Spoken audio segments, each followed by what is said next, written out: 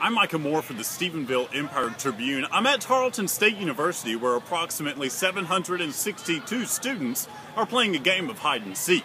They hope to break the Guinness World Record for the largest game. It feels like an honor and a mission i have been put on, so very excited. No, you're not! Here I come! Just broke the record here at Tarleton. We're all pumped. Uh, as a student, this is pretty important. I mean, Tarleton State, we're kind of a small school in Texas. Small school or not, Tarleton students earned the Guinness title by three and a half times the previous record. A Georgia grade school set the record of 215 people in May earlier this year. The game was organized by a student group called SWAT, who decided they wanted to break a Guinness World Record last summer.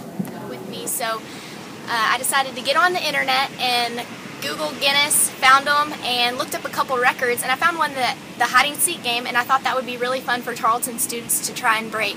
Um, the students handily surpassed the previous record and played the children's game for more than an hour on Thursday night. Guinness set strict guidelines to follow, and students were required to sign in before and after the game. Uh, not a lot of people can say they've done it before.